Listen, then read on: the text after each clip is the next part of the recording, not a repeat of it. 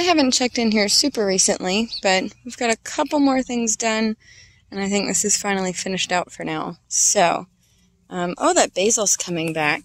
This was basil I had bought at a farmer's market, and I had it in the house, and my cat chewed it all to hell. And there were like stalks, and then this little clump of leaves right here was left.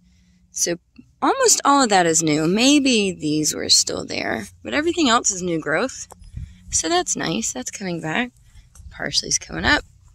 There's lettuce up front.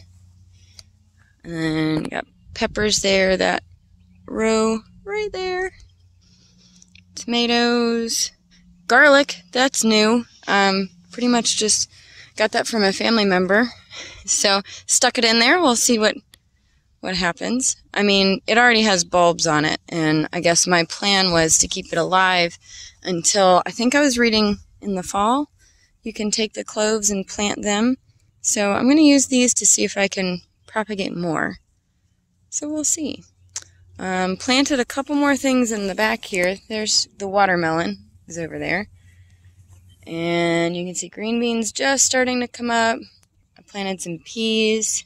I don't even like peas, but we'll see if I like garden fresh peas. And then actually there's some corn in there, and I don't know that I'm going to have room for everything, but we'll see. If I need to expand the fence out some, I can do that. We shall see. So, that's where we are.